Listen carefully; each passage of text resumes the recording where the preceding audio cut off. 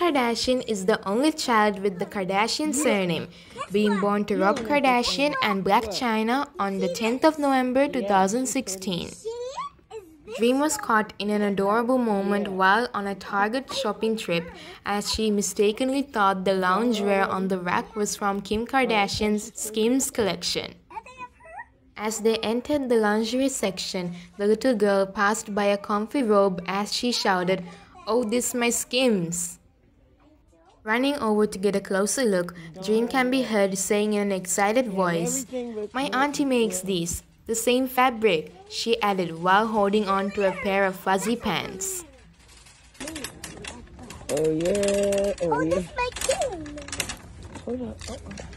My auntie makes me. Huh? My auntie makes Your auntie.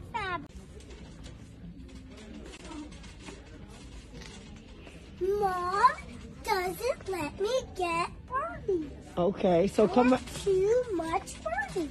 Okay. So what is It's no this? secret Dream is adored by her extended family.